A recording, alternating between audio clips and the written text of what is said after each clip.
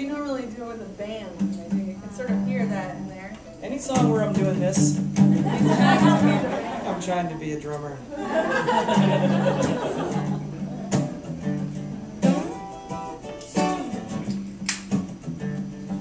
See, the way that last song was written was like Mike was playing a riff in the living room, and I was making up how the song went over it.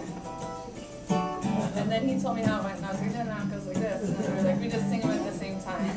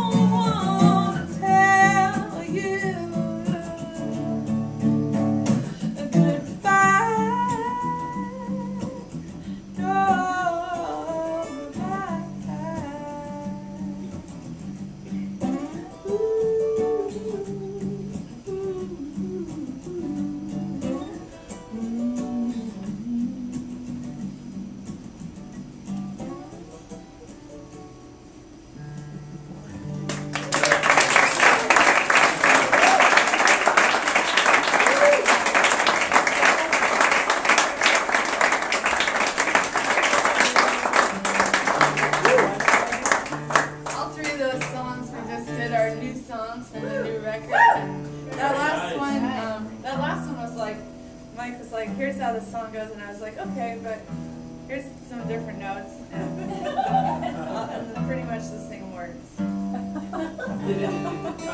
Like, Well done. It used to go, we, we got all out of sorts,